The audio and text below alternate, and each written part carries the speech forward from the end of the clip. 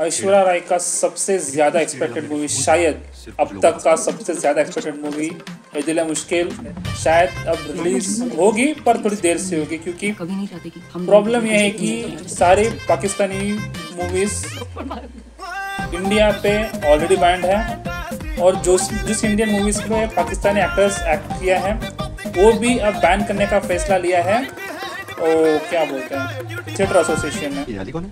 तो इसकी वजह क्या है? ये सही या गलत है? आई डोंट नो मुझे कुछ नहीं पता। पर हाँ मैं इतना ज़रूर कहना चाहूँगा कि उस चांटे को इश्क इससे ना इससे ना फवाद खान से ज़्यादा लॉस हुआ है रणबीर कपूर और ऐश्वर्या राय को।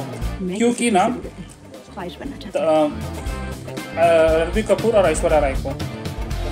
मुझसे पहली सी नामा मुझसे क्योंकि तमाशा बॉम्बे क्योंकि तमाशा बॉम्बे वेलवेट जैसी घटिया फ़िल्म के बाद अगर कुछ रणबीर के रण- रणबीर कपूर के लिए बचा था तो यही फ़िल्म था ये दिल मुश्किल।